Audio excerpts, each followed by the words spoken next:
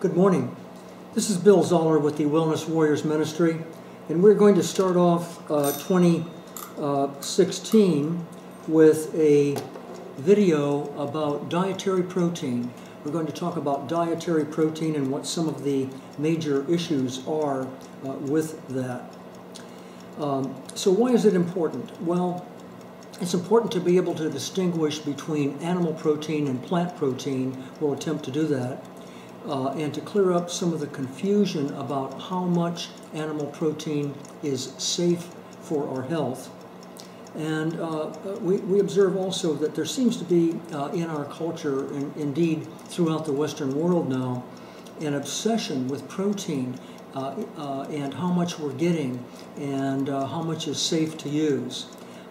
so we, we seek accurate information about this, and, and today we also uh, want to mention that that uh, protein is important, very important. It is a building block uh, uh of uh, many uh, different tissues in our bodies, including our hair and our nails and our tendons. It's a building block in enzymes and in hemoglobin and in antibodies and, and much more. But just because um, protein plays such a central role, it does not follow that more is better. As a matter of fact, uh, some um, scientists believe that uh, too much animal protein leads to a whole variety of diseases like uh, kidney disease, cancer, osteoporosis, and so on. There are several difficulties with animal protein, including containing many toxins. Secondly, it has no fiber like plant foods have, no fiber, with a lot of health implications around that. Thirdly, uh, it has no healing plant compounds like we find in plant foods. All of those are missing from animal protein. Animal protein tends to be high in uh, saturated fat and cholesterol. Next, some of the um, uh, amino acids in, uh, uh, in animal foods, like methionine, uh, end up being quite problematic. And finally, in animal protein, we get a lot of insulin growth factor 1, IGF 1, which is a growth hormone implicated in cancer cell growth. I uh, wanted to say that Dr. T. Colin Campbell, who is a, uh, I think, a world-renowned nutritional biochemist from Cornell University, uh, says that his research finds that we only need about 5 to 10 percent of our daily calories in protein, not the 30 to 60 percent, which is a very common uh, goal for uh, many people in the Western world. He also says, and I quote, In my view, no chemical carcinogen is nearly so important in causing human cancer as animal protein a, uh, a profound uh, statement there. Um, so um, uh, many people uh, believe that um, uh, only animal protein can provide us with the needed essential amino acids and that you must eat a lot of animal protein to have adequate uh, amino acids. The reality, however, is not that. The, the reality is that you can get all of your essential amino acids that you need in a varied uh, diet of beans and lentils and grains and vegetables uh, as long as you're uh, consuming enough calories. Uh, in our metabolic uh, system, we have a, an interesting component called the uh, labile amino acid pool.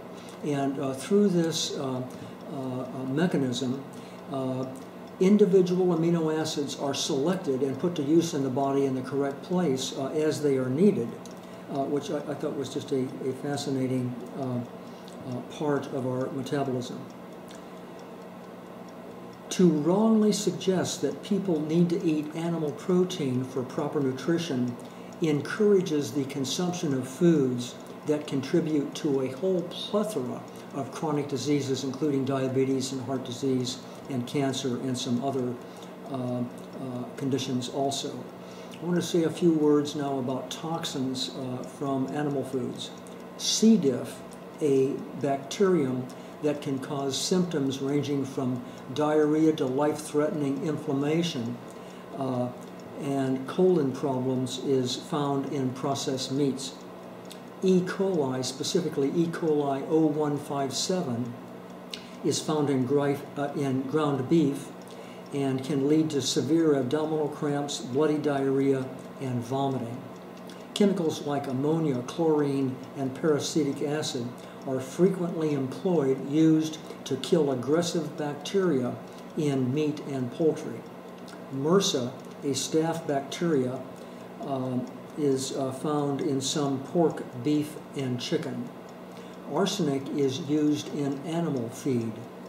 Fish and animal products um, can expose us to persistent pollutants like DDT, dioxins, and heavy metals, and this compromises our uh, autoimmune system.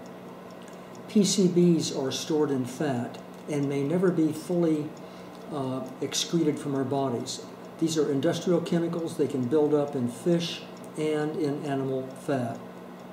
Arsenic and mercury we find uh, commonly in seafood. Ciguatera toxin tends to accumulate in predator fish. Cooking, cooking does not destroy the toxin, and uh, this uh, toxin uh, leads to nausea, pain, cardiac, and neurological symptoms. Uh, a, uh, another word about methionine that I had referred to earlier. This is a sulfur-based amino acid. It causes bad breath, body odor, foul-smelling gas. The, the point is that methionine is, metaboli is metabolized into homocysteine uh, that um, is a known risk factor for heart attack, stroke, um, blood clots, Alzheimer's disease, depression, and, uh, and so on. So where is methionine found? Particularly in chicken and fish, but also in milk and red meat and eggs. Uh, if you want to stick with lower methi methionine foods, eat fruits, nut, ve nuts, vegetables, grains, and beans. Uh, in poultry, we find a good deal of arsenic, uh, leading to risk of lung and bladder cancer. Um, also in poultry, it's interesting to note that 100 milligrams of cholesterol uh, found in four ounces of chicken is the same amount found in beef.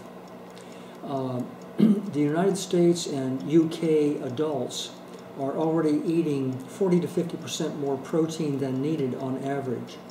And uh, so we uh, have concern about primary prevention of disease because of this. In dairy, we find a lot of lead, some banned pesticides, and dioxins. Uh, uh, consumption of dairy products, cheese, milk, and so on, uh, increases this insulin growth factor 1 that I had mentioned. It weakens bones due to a high acidic load and leaches calcium from the bones. Uh, dairy also uh, contains an enzyme called TOR, T-O-R. Uh, and this is from animal protein that accelerates the aging process, not a good thing. Uh, dairy is an endocrine signaling system that activates TOR and promotes cell growth. And uh, our concern is um, uh, the proliferation of prostate cancer cells and probably cells from other types of cancer also. Um, so what kinds of foods might inhibit or limit this, uh, this uh, TOR enzyme? Well, things like broccoli and green tea and fruits and vegetables and a whole variety of berries and the skin of cucumber. So when I uh, juice my uh, cucumbers or when I eat my cucumbers, I uh, certainly leave on the uh, skin. Uh, kidney disease. So uh, the Western diet is a major factor in the onset of kidney disease. It causes impaired kidney blood flow, inflammation, and leakage of protein into the urine. A six-month double-blind, randomized, placebo-controlled research study looked at soy versus dairy protein. And what happened is that whole soy foods like edamame, and soybeans, uh, tended to preserve kidney function, while uh, milk uh, and other dairy products did just the opposite, and and uh, they saw kidney function decline. A couple of uh, more specific ideas that we need to know about IGF-1, insulin growth factor 1.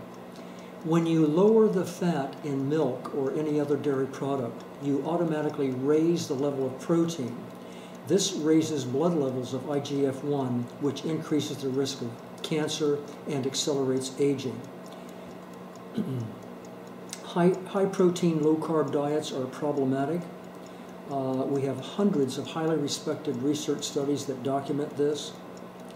Um, these diets limit the health promoting components, what we call phytonutrients, in complex carbohydrate foods such as greens and beans. Um, wanted to mention another study of over 4,800 people that found high animal protein causes inflammation and high blood pressure. Also, we have um, uh, solid research uh, indicating that diets that are high in fruits, vegetables, and starchy, uh, uh, starchy complex carbohydrates help to keep people slim and trim. Um, uh, also, I want to mention that the onset of menarche, the uh, onset of the periods for the young ladies, uh, uh, if you eat a lot of animal protein, it's associated with a significant risk of starting their periods earlier than uh, age uh, 12, and part of this is due to IGF-1. So our recommendations is that uh, we be uh, very uh, cautious uh, about consuming animal foods, that is the amount of animal foods, and that we do that with a full knowledge that there are very significant health risks involved. also avoid refined carbohydrates such as sweets and pasta and breads. Those are just as bad for us as the saturated fat in animal foods. Uh, we uh, recommend that people uh, uh go to restaurants and utilize restaurants very cautiously uh, because they are generally not very uh, concerned about our health and they don't know a lot about they don't know a lot about nutrition and they serve a lot of unhealthy animal-based uh, foods.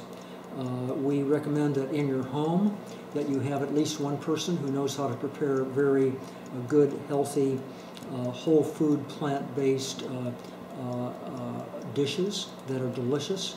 And, and finally, we recommend that if you uh, choose to eat uh, some animal foods or processed foods, that this be not more than 5 to 10 percent of your daily uh, calories.